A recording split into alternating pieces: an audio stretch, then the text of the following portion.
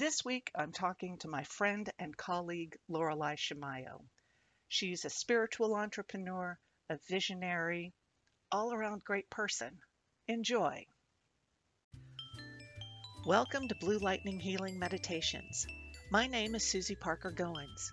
I'm a channel, so I bring forward your guides so you can connect more easily with them, allowing you to have soul deep conversations with them whenever you want. I'm also an energy healer, past life explorer, a teacher. My goal is to empower you by teaching you these techniques that you can use on your own.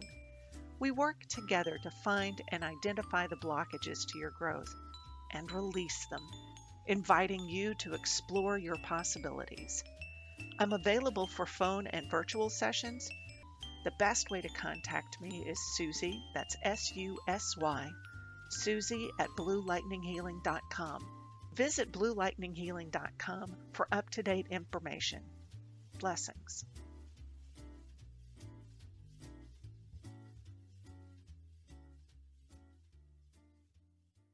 You ready?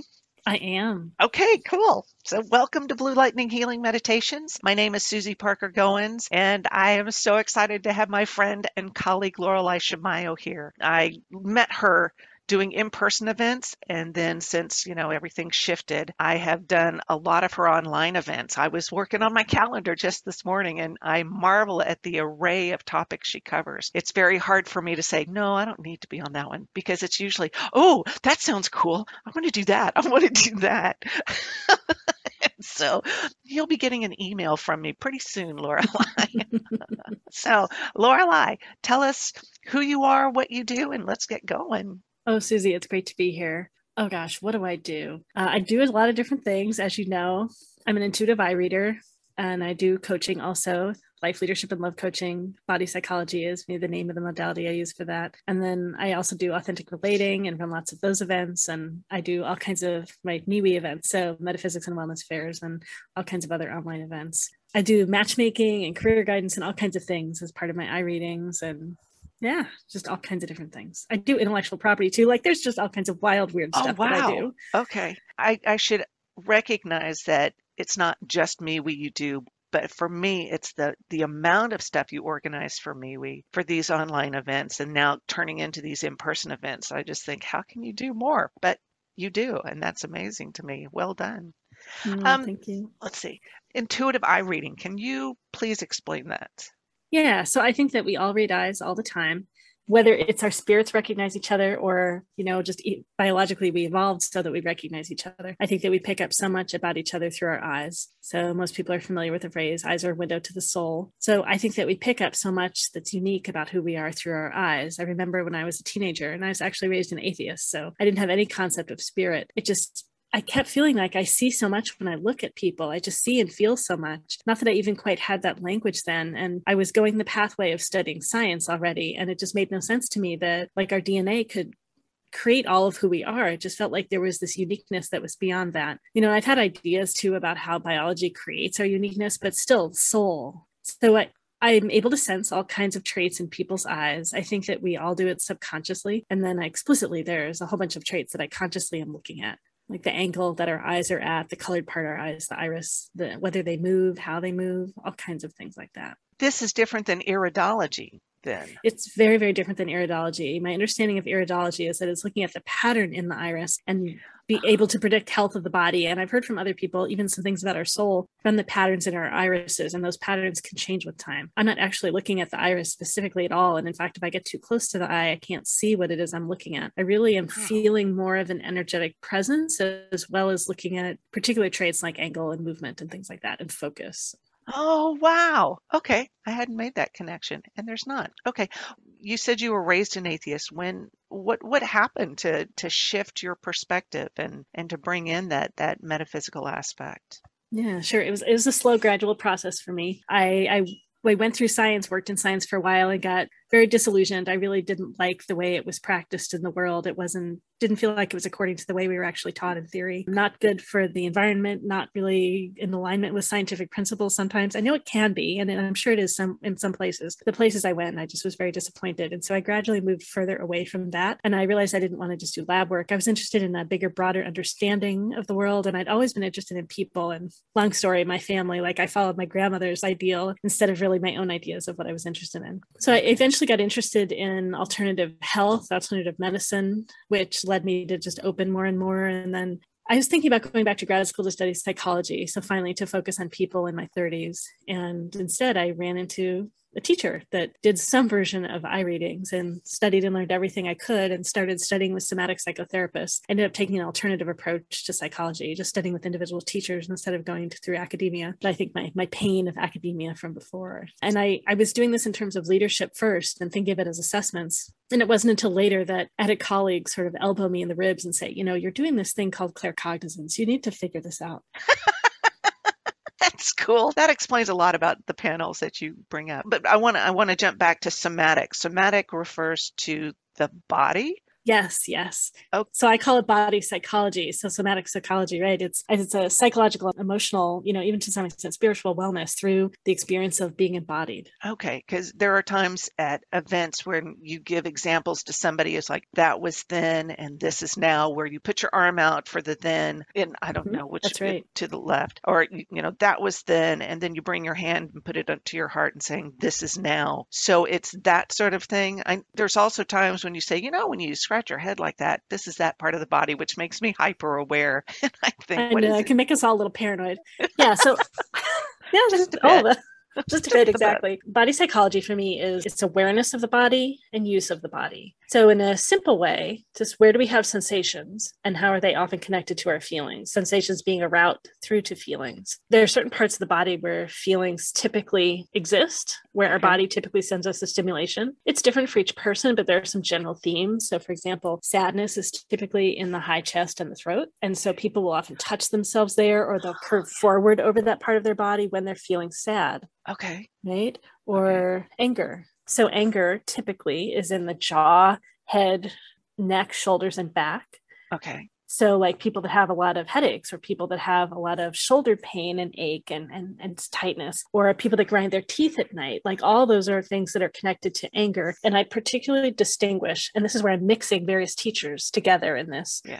I distinguish between anger and aggression. So, for me, anger is healthy anger is yes, no. When we're not used to expressing our anger, it can come out in a big wave, particularly if we have a lot of it stored, and then it's no or yes. And as we get more and more comfortable with flowing this feeling, it could be nope, not for me. Or yeah, I do, I want that. Whereas aggression for me is actually fear.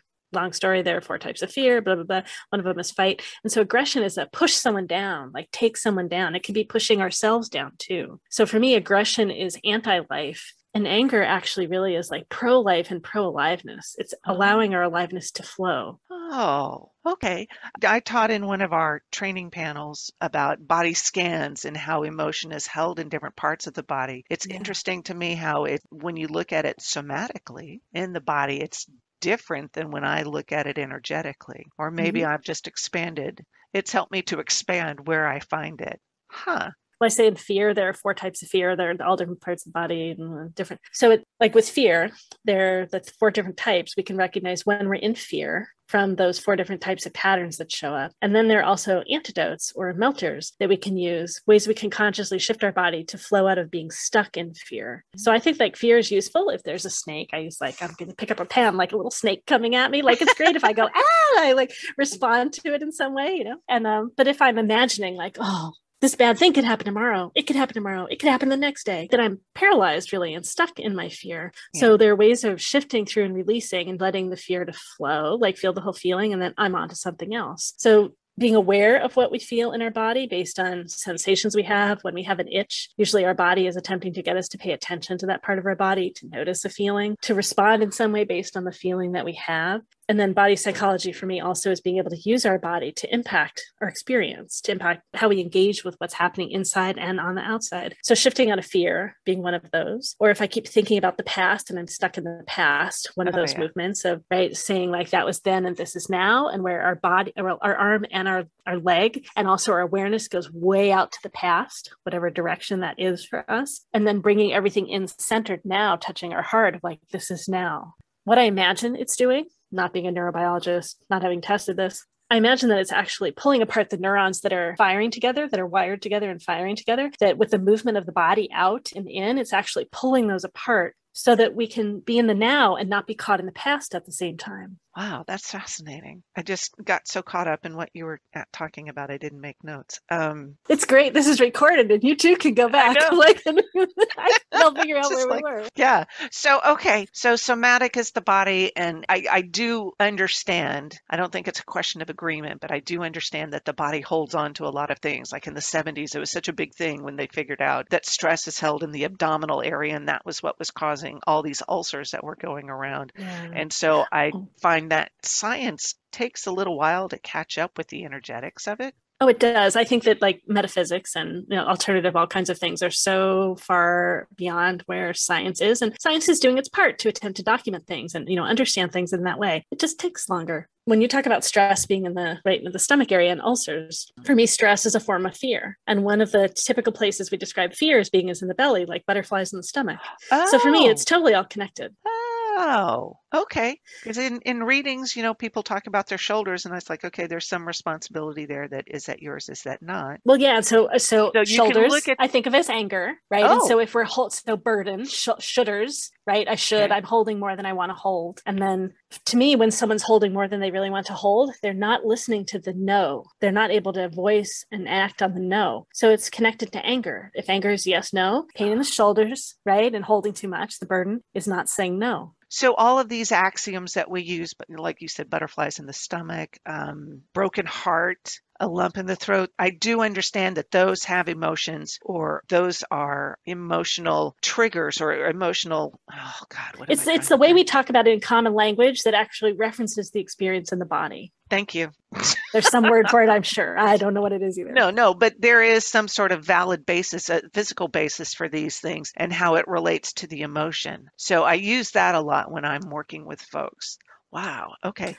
Yeah, because a lump in my throat is usually where we feel sadness and we're blocking the sadness expression to some extent. The yeah. lump is actually in the way. Okay. And then we expand it to talk about the throat chakra and, and blah, blah, blah, and all that stuff. So it yeah. does help on all kinds of levels. And right. And so lump in the throat so it's often sadness and then also the lump is blocking expression. And for me when people touch their throat or touch under their nose or around their mouth or all those things are often blocking expression. Oh. and usually we feel scared which is why we're not expressing. So there might be something else about fear that's there too and it does encourage that deep dive into looking at things at a yeah. different level as opposed to just the superficial. That's why I love doing what we do because it's not just, oh, yeah, you don't get along with them. Okay, fine. But we can dive deeper and say, what about this life? Oh, what about past lives? What about soul contracts? And we can go so much deeper. That's I love that. I love and for me, it's looking not to blame, looking for how we can be creative and how we can make shifts. Right how to shift the energy or the perspective or even releasing. I think release has a lot to do with this stuff. You know, you're talking about thinking about things in the past. Oh, yeah. Two o'clock in the morning thinking about what I did 30 years ago. Oh, yeah.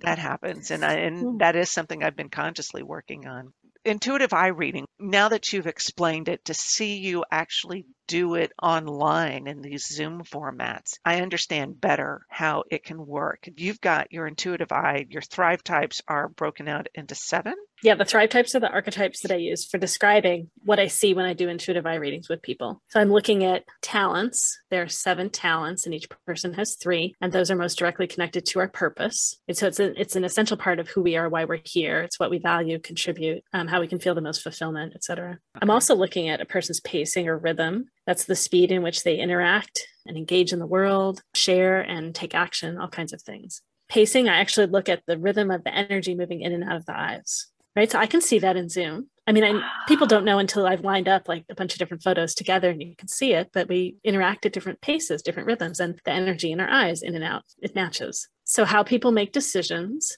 Some people want to see lots of options, and their their energy from their eyes actually goes out in more directions. Some people converge in on wanting to find an answer quickly, knowing they can change course, and so their energy narrows in and focuses more. I look at communication, where we all use our mind, heart, and body and how we integrate and share. And the order in which we engage them is different. So I'm think first. I want to know the information first. I want to think about the details first and see how that feels. And then I take action. Whereas someone who's feel, act, think, they feel that they want to go somewhere and they go there and then they think and learn about it after. So the timing in which we take action and how we go about getting to that action totally different. Oh wow. Right. Okay. So like school, like we we tend to put people sitting in in chairs and Yeah. that's act last, but some people are act first or act second and that's why sitting in school doesn't work for them. So having a standing desk or being able to be active and moving while they're thinking and learning. I know there's different learning styles. Like there's the intellectual and then kinesthetic, Kinesthetic learning, is body. which is Mhm. hand-on and and I don't remember the other kinds, but they're so visual learners, for example. visual yeah. and verbal Mhm. kinesthetic. Okay, yeah, so I can understand that. Thanks for bringing that that example in. And- so And I'll just, just quickly say, and then their motivations, what motivates us. And then also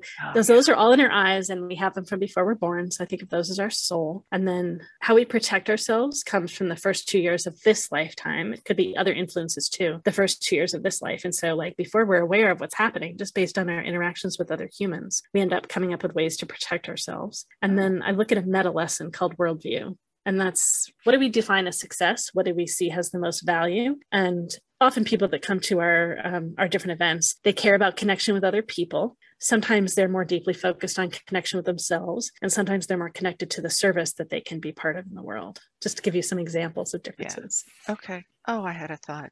Damn it. i distracted you and it's gone it did. It did. So meta. Okay. Oh well. Okay. So um, we'll just move on. we were talking about uh different ways of learning when we got Different ways distracted of learning. Yeah, so comes but there in. was something else that. Well, when I read someone's eyes, I'm reading their soul, and my aim is to help them better understand themselves, better understand maybe the lessons that they've come through, why they've been attracted to different people and different kinds of work. And again, so it's getting more conscious about that. So if they're heading in a direction that's not of service to them based on past wounding, based on influence of other people, they can loosen that up, lighten that, do the equivalent of like disconnecting neurons and yeah, choose something that's in alignment with who they really are, where they feel most alive. so this intuitive eye reading, you're you're able to provide folks not coping mechanisms, but at least an awareness around how they cope and how they deal with things, and to help Yeah. them to enable them to to function or to to maneuver through life better. Yeah, my aim is like in terms of giving people food or teaching them to fish, I'm aiming to teach them to fish so that they really know themselves, trust themselves more, and have new tools for making choices that are in alignment with themselves. And that's why things like feeling their anger and feeling yes, no is really supportive of being, you know, congruence with and alignment with who we are and the soul energy that's expressing through us. Okay, that's cool. So you didn't start online right away. You the story behind how you got well, well, There- yeah, there, there are two answers. There are two answers to this. So one is with my eye readings, I actually started long, long ago. I'm one of the early users of Zoom, and that's because Skype had really bad visual quality, and I had to see people's eyes well. So I started Oh. using Zoom long, long ago. I don't know if it was the first year or the second year it existed, but it was something like that. Oh wow. Yeah. So then using Zoom for events, maybe let me say a tiny bit about how the fairs got started. Then we'll talk about how they got started. That's online. where I was going. Yeah. yeah it's great it's great how to like put in that thing too though i just i love zoom and i appreciate their quality and that they keep improving yeah. so I mentioned that I had this colleague elbow me in the ribs, right? That I had to figure out claircognizance. And that was right around the time when I was moving from Colorado to the Northwest. I think that I was moving is what gave her the prompting of like, all right, I got to just tell Laureli what's going on. So she did that. And after I moved, I'm like, oh, I got to go check this out. Claircognizance. Okay. Psychic. Oh, no. What do I do?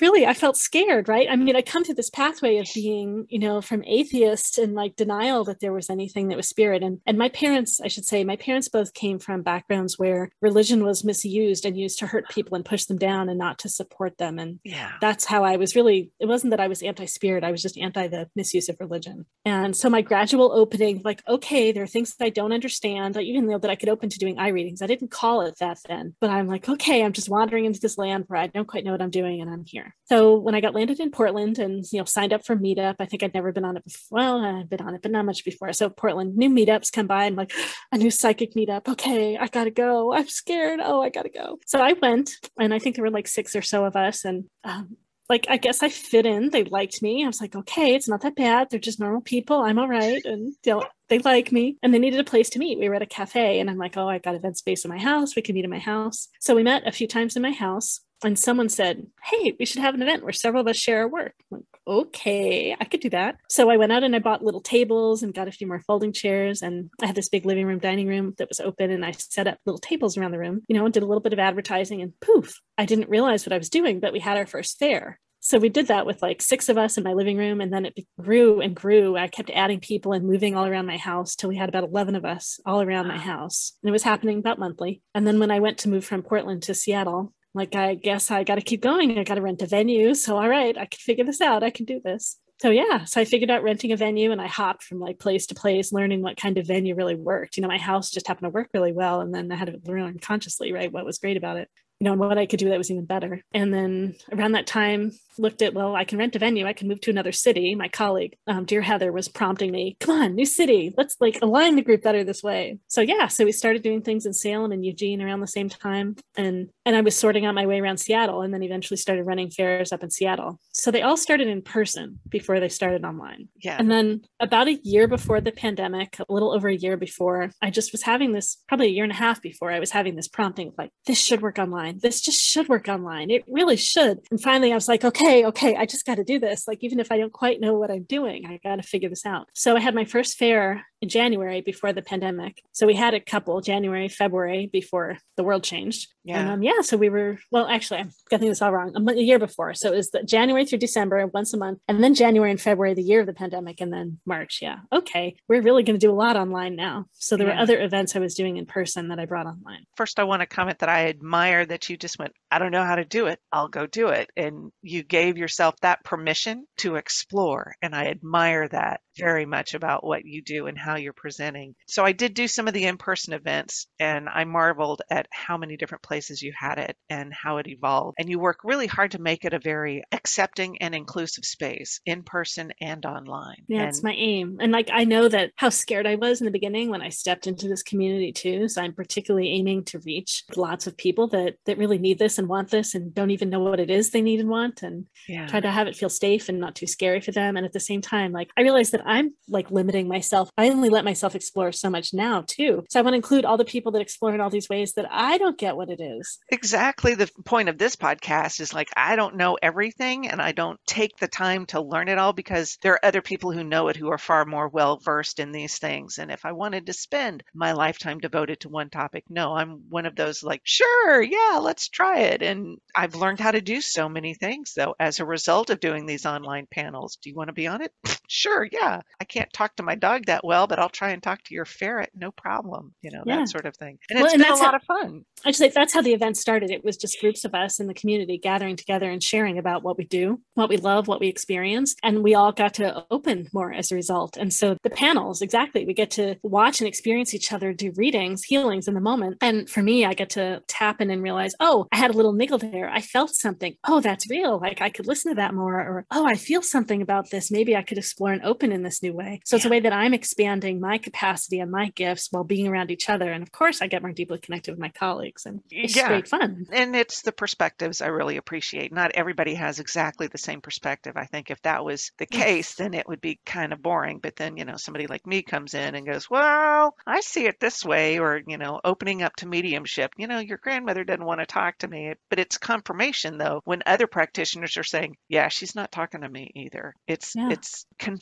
confirms a whole lot. It validates a whole lot of what I'm feeling. And you're saying the same thing. It's like just knowing that it's, it's all, it's such a big, big universe. I did spend like two years as an atheist when I was in college. And then I went, it's really lonely for me mm. psychologically because, you know, I would talk to who, you know, I grew up Catholic, talked to Mother Mary, talked to all of them. And then I went, no, no. And then I spent time as an agnostic thinking that there is something greater than myself. And now it's evolved into this metaphysical, uh, metaphysical perspective and for me it's a lot of fun. It's so why not thing why not believe in talking to people who have crossed over? Why not believe yeah. in talking to your dog or using external focal points as tarot cards and stuff like that? Another thing about these online events is that it's not only the spectrum of topics you cover but the reach this has how far what different time zones you have to worry about Yeah, that's gotten a little crazy because, right, we post events in Australia regularly now. And yeah. I want to go back to something you just said because you said Sure. something that was important to me. You said, why not, you know, explore in all these ways? And in my experience, the messages I picked up, or, you know, was directly given was one that I'd be less connected on this physical plane in a way that might be dangerous, or that I would lose control, Ah. almost like I would let someone else in my driver's seat. Okay. Right. And my experience is that I'm actually more grounded, right? I'm able to be here. Like all the body psychology stuff I do, it's all about being grounded, right? I have tools for staying grounded or regrounding.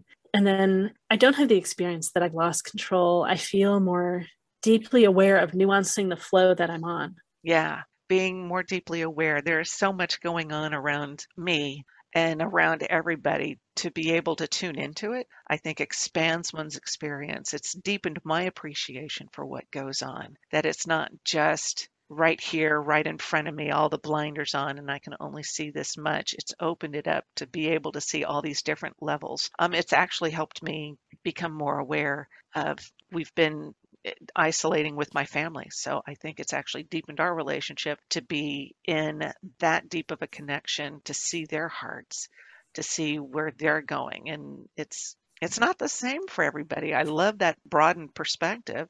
It's challenged me when somebody comes in with their story that is different than mine. It's not an experience I've had. So we've had people come in talking about their toxic relationships or the abuses they've experienced. And it's opened me up to listen, to not mm-hmm. judge, but to listen. And then not only to the person who's asking the question, but to their guides around them. And it's not blowing sunshine up anybody's skirt. It's just, okay, here we go. Let's look at it this way. So I, I now see the groundedness in it. Sometimes I think, oh, I'm so up in the ethers. Like, no, I'm kind of grounded when I take that time to stop and listen. Yeah.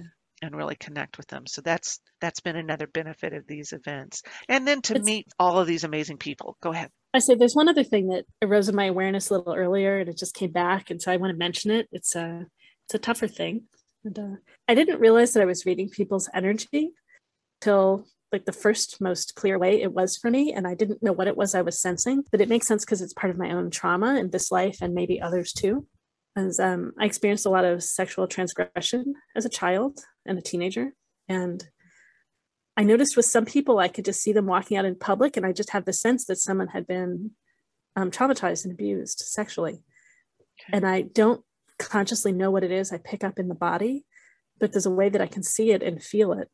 And you know, there are times I've had some verification, but I see it in lots of people that I can't ask. I don't know. But it, it came up when I was working with a colleague, um, a friend, where I was attempting to help him see um, partners that would be a better fit for him. So we were out walking in public, and he had a tendency to be attracted to a particular pattern of women.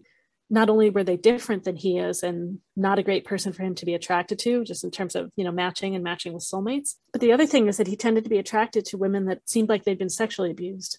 And so there's a way that I can pick up that energy in the body, at least with some people you know, and it was true of a lot of his past partners too. So I think that the people that he was attracted to, chances are like there's some energy they all had in common that I was picking up. So again, maybe part of my own experience and why I'm sensitive to it and can see it.